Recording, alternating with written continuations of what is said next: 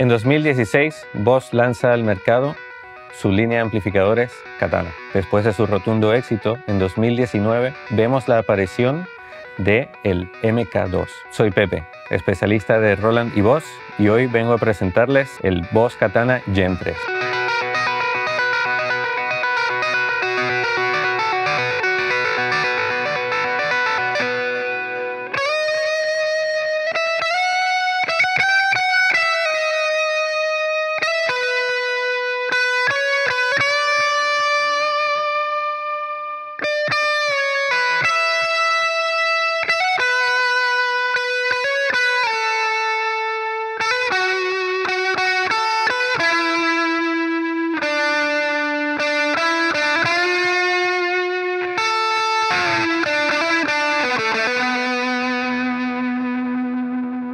¿Y qué podemos encontrar de nuevo en el Gen 3? No fue necesario reinventar la rueda, ya que partiendo del MK2 lo que se ha hecho es añadir unas cuantas características para mejorar la línea de amplificador. En lo personal puedo decir que es un amplificador que suena muchísimo mejor que el MK2. Esto se debe a que han calibrado los altavoces de una manera en la que podemos tener más dinámica y mejor respuesta al tocar. Se ha añadido el nuevo amplificador Push que se sitúa entre el limpio el crunch. Es como una emulación de un amplificador vintage, algo así como un amplificador de válvulas que está acercándose al punto de quiebre. Tenemos la posibilidad de conectar el BT Dual, que es el adaptador Bluetooth, para poder enviar audio directamente al amplificador o configurarlo desde la aplicación móvil. La salida de línea o line out también se ha mejorado con una emulación de gabinetes, también conocida como Air Field. Esto nos permite modificar algunas opciones como la distancia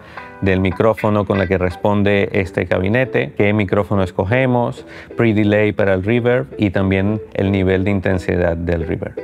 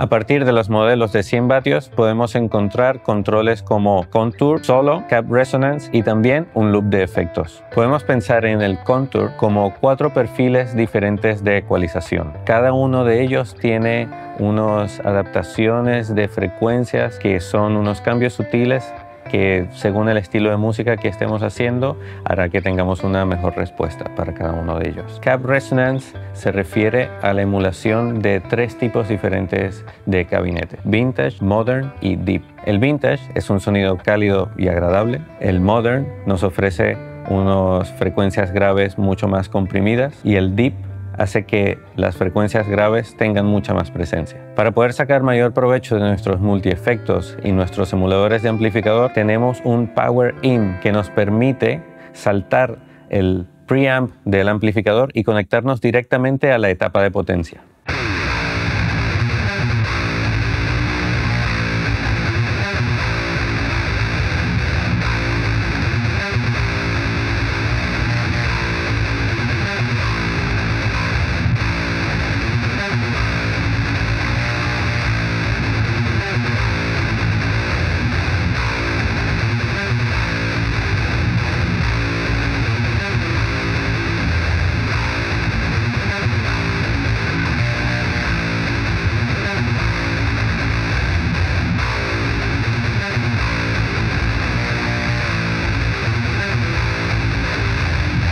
Si tienes un Katana MK1 o MK2 y estás pensando en adquirir un Gen 3, pues te gustará saber que los sonidos que hayas creado en la aplicación Boston Studio son compatibles con el Gen 3. Entonces no tendrás que hacer nada nuevo y podrás disfrutar de todos tus sonidos en este nuevo amplificador. Espero que esto les haya sido útil y recuerden que pueden venir aquí a la Roland Store Barcelona en Alfasoni a probar estos magníficos amplificadores. Yo estaré aquí para ayudarles con sus dudas en los productos Boss y Roland y si tienen alguna duda pueden también dejárnosla aquí en los comentarios. Hasta luego.